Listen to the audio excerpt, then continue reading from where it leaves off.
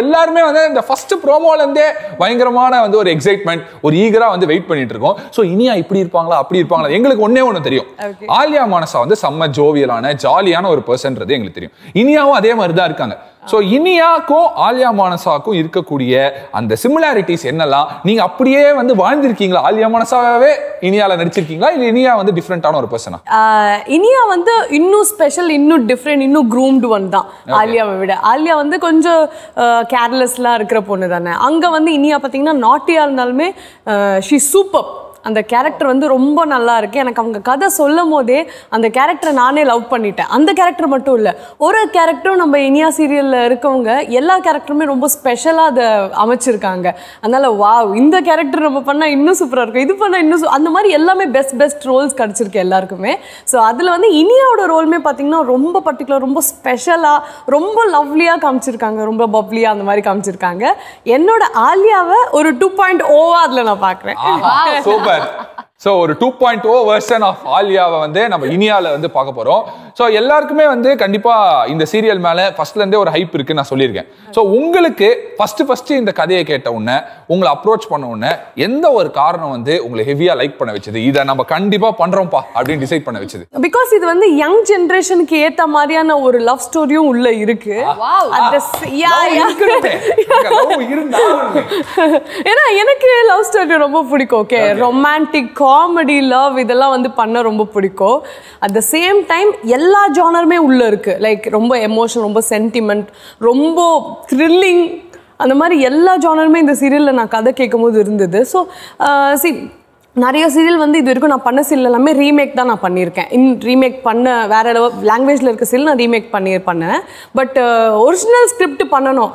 அந்த ஸ்கிரிப்டை ஹிட் பண்ணி அதை மற்ற லாங்குவேஜ் எடுத்து ரீமேக் பண்ணணும் அப்படின்னு ஒரு சின்ன ஆசை இருக்கும்ல நம்மளுக்கு. ஸோ அதனால இந்த ஸ்கிரிப்ட் எடுக்கலாம். ரொம்ப நல்லாவும் இருக்கு அப்படின்னு சொல்லி ஐ சூஸ் அப்படி. ஓகே சோ இந்த லவ் ரொமான்ஸ்லாம் வந்து உங்களுக்கு ரொம்ப பிடிக்கும் அப்படின்னு சொல்லியிருந்தீங்க. நீங்க ஆக்சுவலா வந்து நீங்களும் சஞ்சீவ் அவரும் சேர்ந்து ஒரு கப்பிள் கோல்ஸ் பண்ணிட்டே இருக்கீங்க. அதை பார்க்கும்போது எங்களுக்கு பொறாமலாம் இல்ல. லைட்டா பொறாமையா தான் இருக்கு. பட் ஸ்டில் நம்ம அது வந்து எல்லாருக்குமே ஃபேவரட்டான ஒரு பேராவும் நீங்க இருக்கீங்க. சோ வந்து நம்ம சஞ்சீவ் அவர் ஆல்ரெடி ஹி இஸ் இந்த ration card of Sun TV so இப்போ உங்களை புது மெம்பரா சன் டிவி ரேஷன் கார்டுல நாங்க இணைச்சிருக்கோம். அவர் என்ன சொன்னாரு? அவர் வந்து ஆக்சுவலி அவர் தான் வந்து இனிஷியேட் பண்ணது. நீ பண்ணு இங்கே புது ப்ராஜெக்ட் பண்ணு நான் நல்லா இருக்கும் உனக்கு ஒரு ஒரு டிஃப்ரெண்ட்டான ஒரு ஃபீல் இருக்கும்ல அப்படின்ற இருக்கும் அப்படின்னு சொல்லி அவர் தான் இனிஷியேட் பண்ணது. ஃபஸ்ட்டு நான் ரொம்ப பயந்தேன் பட் ஆனால் அவர் வந்து சொன்னார்ல சி நான் வந்து பண்ணியிருக்கேன் எனக்கு ரொம்ப கம்ஃபர்டபுளாக இருக்குது நீ வா யூ வில் என்ஜாய் அப்படின்னு சொல்லும்போது இப்போ really I'm enjoying the team channel எல்லாமே நான் வந்து புதுசாக இருக்கேன் எனக்கு ரொம்ப என்ஜாய் பண்ணி பண்ணுறேன் இந்த ஒர்க்கை ஸோ அவர் இனிஷியேட் பண்ணி நான் ஆரம்பிச்சாச்சு இந்த ஒர்க்கு ஹீ ஸோ சப்போர்ட்டிவ் அந்த வெயிட் லாஸ் பண்ணதுலேருந்து எல்லாமே நான் ஒரு விஷயம் டவுன் ஆனா கூட இல்லை இல்லை see you can do it அந்த மாதிரி ஒரு ஒரு நிமிஷமும் எனக்கு சப்போர்ட்டிவாக இருக்கிற லக்கியஸ்ட் கேர்ள் நான் ஏன்னா அவர் supportive ஹஸ்பண்ட்னால so very happy he is part of all of my second super super so அங்க அப்ரூவல் கிடைச்சாச்சு. இங்க வந்து நீங்க ஸ்டார்ட் பண்ணிட்டீங்க.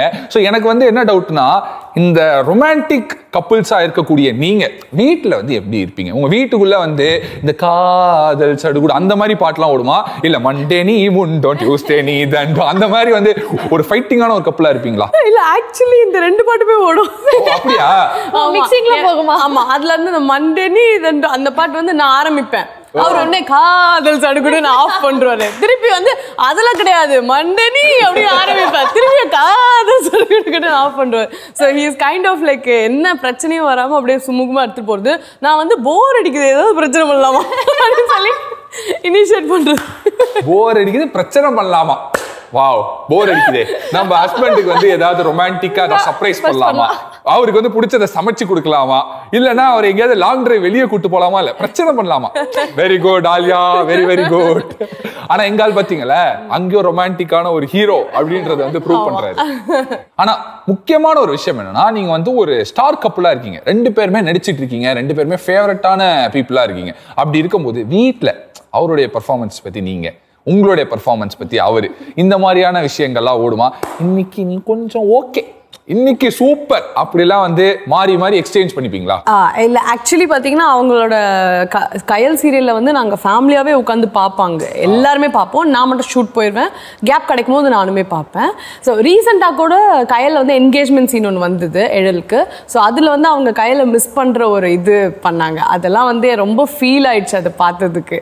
எனக்கு எனக்கு. அந்த மாதிரி அவங்க அவ்வளோ தத்துருவா நடிக்கிறாங்க. நடிக்கும்போது ரொம்ப ஹாப்பியாக இருக்குது when he's my husband I am very proud of